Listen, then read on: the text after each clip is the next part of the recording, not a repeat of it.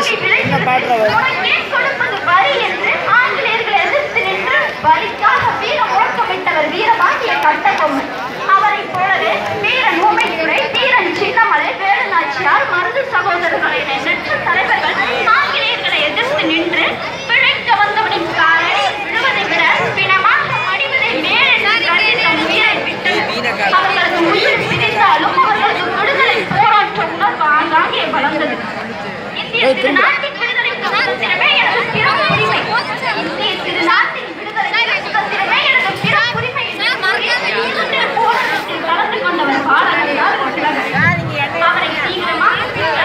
தமிழ்நாட்டிலே